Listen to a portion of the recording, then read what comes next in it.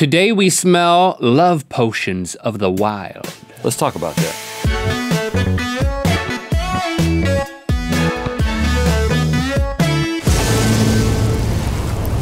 Good mythical morning. Birds do it, bees do it, the wild American boar does it. What? Mm, release a scent to let potential mates know Oh. that it wants to mate. It's kind of like Bojangles fried chicken for me. Oh, wow. That's how it works in your house? There's not even a Bojangles out here. No comment. That explains why you haven't had any children since moving to California. No comment. Okay, now the hunting industry has taken note of this uh, this fact that animals release these scents, and they have created a whole array of things that you can apply to yourself if you're trying to attract an animal. And we thought, well, we're not going to apply them to ourselves, but we're going to apply No. them to something and see if we can match them with the animal that they are meant to attract. It's time for Can You Smell the Love Tonight? And can you guess it right?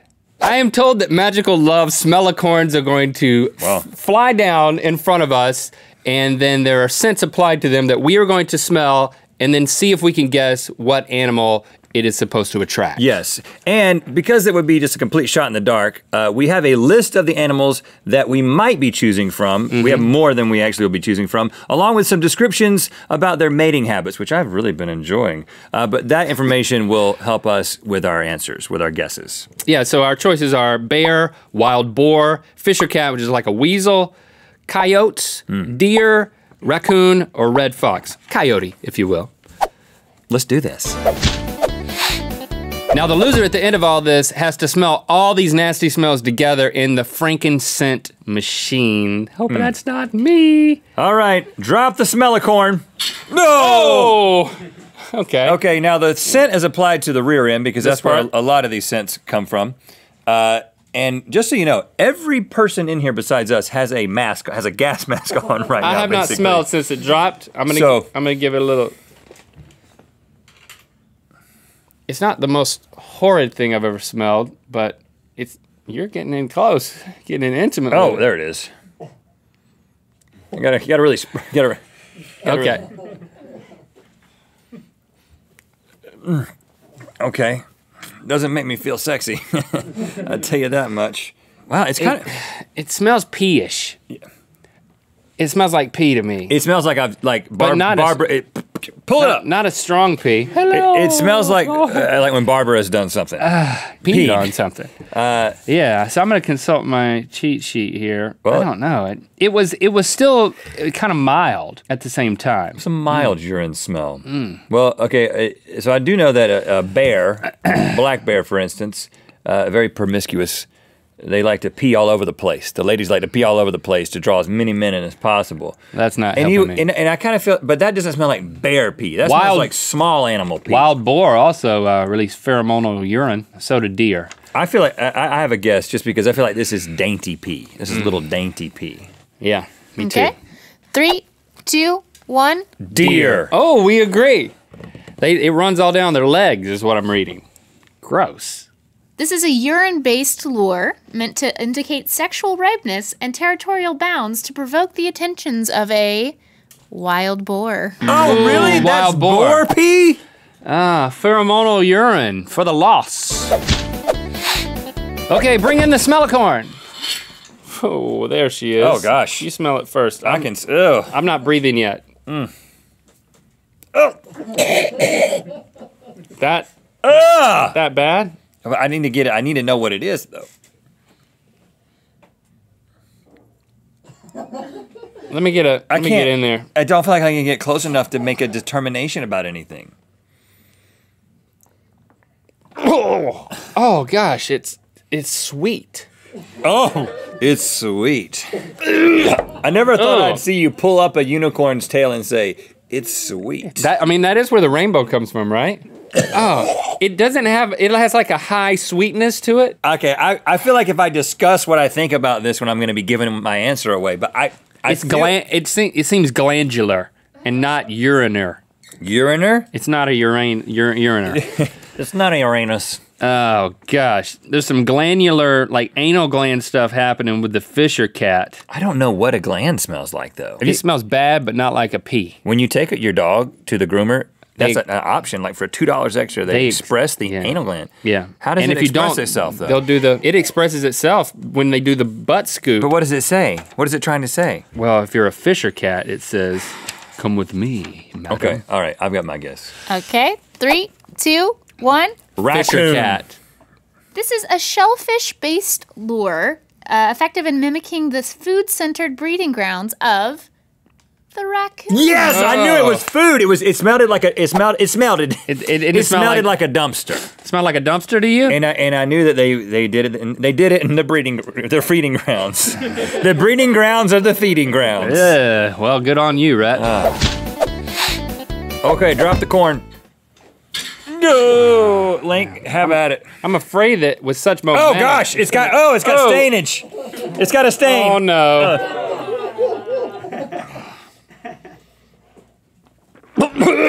oh gosh. Oh my golly. Oh. Golly wally gee.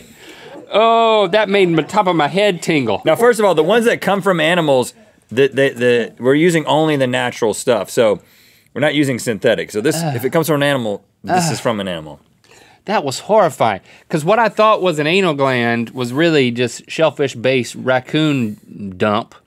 Stir food. I know it's bad. Yeah, aim for your mug, brother. Once you get it, man. Yeah, it's like your body says, get it out. Look at it though. It's I don't- I feel like there's information in the visual. What does that look like it came from? That this has got to be the anal gland one.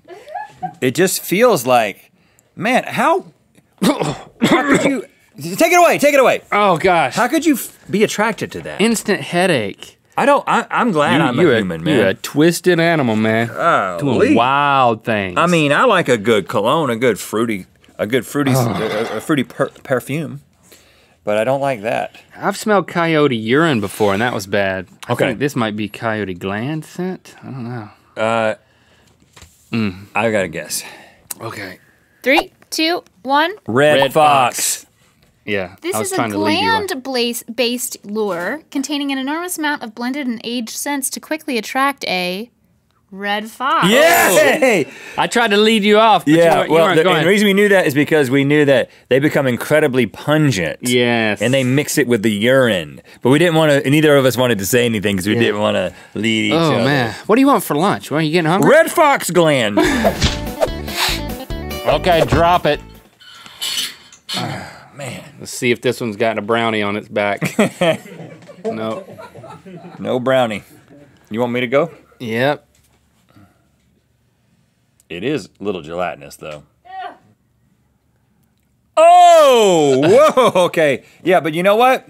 That is a more that's more it's a more familiar smell. It, that smells like the, yeah. the farm center of the state fair. You know, That Yeah. my favorite part of the state fair was to go and see all the backsides of the mm. cows, mm. Uh, and then the butter sculpture. That was the highlight of that part. Oh, Oh, take it away. Take it off. Get rid of her. Uh, yeah, to me that feels like That's definitely um, urine. in the nose. That is it's, definitely It's a got urine. a pungent, sour. Um, man, I I wouldn't rub that on me. But it's almost an agricultural urine smell. I'm just going based on state fair experience here, which I have a lot of. You think anybody farms coyotes? Yeah. They have you been to a coyote farm? Oh yeah, it's it's very unpredictable there. Yeah. Uh okay. Okay. Three, two, one. Deer. This is another urine based lure taken specifically from a sexually mature in heat doe. So Yeah. Yeah. Hey man. We, we Can't get ahead on you. we're uh we're good at this. We should work for the companies. We should work for the companies that test the scent. Oh, are you volunteering? My eyeballs are No, hurting. I'm saying my resume is out there. Okay, it all comes down to this one. If I beat you, if I beat you in this round, that means we both have to endure the frankincense. Um, if you get it right and I get it wrong, I have to do it alone. It smells so bad in here already. Drop it. Yeah. Oh, What in the gosh. Makes me angry. I've never smelled anything that made me want to punch myself in the face. go, go ahead and do it. it, might, it might help you. Gosh. It's it's putrid. It's like it smells a like skunk. skunk. It smells like a skunk. smells like a dadgum I feel skunk like butt. I feel like my lungs are burning. I feel like my chest is starting to hurt. when you get close to it, it smells. Hey man, don't let the smell of corn swing. That's the number one rule of having a smell of corn hanging between When you when you get close to it, it smells like fuel. It smells like a heinous fuel. well, maybe maybe we could heinous fuel or anus fuel because we. I need. I feel the anus. Okay. Uh, with this. Oh my goodness. Oh my goodness. I don't, Oh gosh! I just want. Oh wow! Take it does. It, take it away. It smells like construction. It smells like road construction. Yeah, like asphalt. yeah, exactly. Asphalt construction. That's I the, or who- like a paper plant. I know whose fault it is. oh, Okay, gosh. I can't imagine that coming from anything smaller than a mammoth. A bear, a bear, a cat, a Mammoth cat, is not a on here. Mammoth is not on. Blue whale. Like you gotta have a large. It's like a large animal that is squeezed down to its essence. That's what that smells like. Bears are gross.